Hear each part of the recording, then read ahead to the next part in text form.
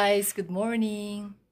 So ngayon, um, it's 14 days na nung challenge na ginawa ko na Chloe exercise. So, ayun guys, i-reveal na natin kung nag-loss ba ako ng weight, kung lumiit ba yung chan ko. I will show you.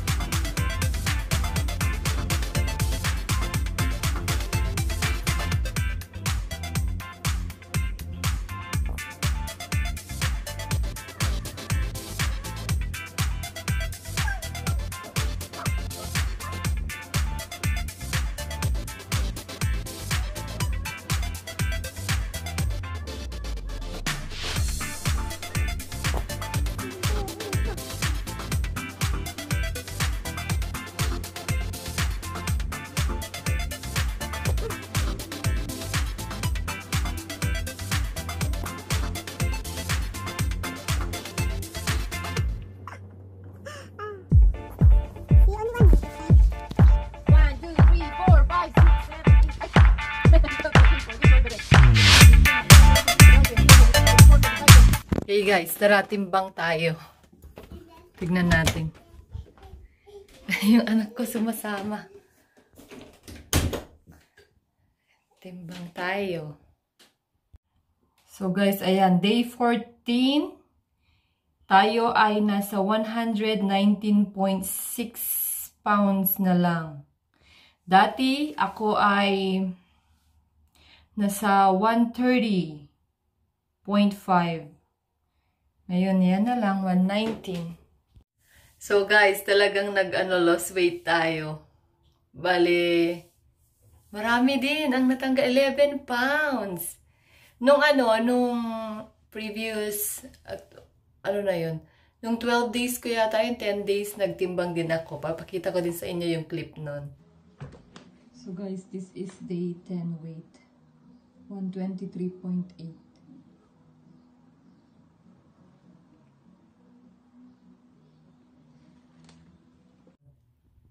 Okay guys, check natin yung belly natin kung may improvement. Okay guys, so this is my postpartum belly. I don't even know if this is still postpartum belly or it's my belly now. Look at it. Oh my goodness. This one guys, this is the one that I want to to remove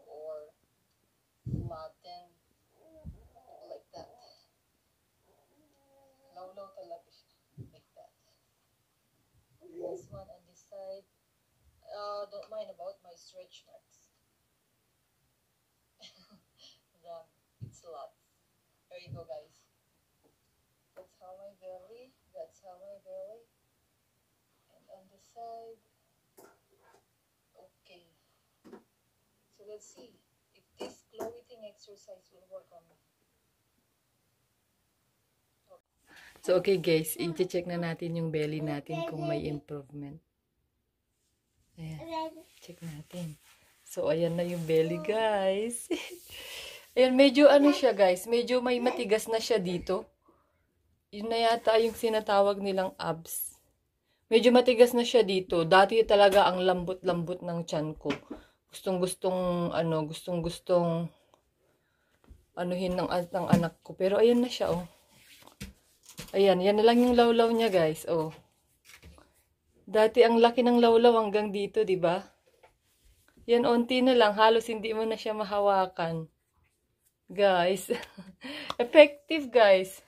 Ayan oh. Oh, yung anak ko nagsasalita. Effective? Oh, oh ayan guys, effective. Ituloy-tuloy ko lang. Pero minsan hindi ko kasi kayang diet. So, ayun. So, guys. Effective nga yung ano natin, yung clothing challenge natin. So, I hope you guys enjoy yung ano, yung challenge natin and sana nakapulot din kayo ng strength and ng idea para ma-encourage na mag-start mag-exercise. Although kahit maliit lang ang ano, ang tawag dito, ang ang pinagbago. Pero sa timbang ko guys, ang laki ng pinagbago from 130 pounds down to 119.6. So 'di ba, ang laki.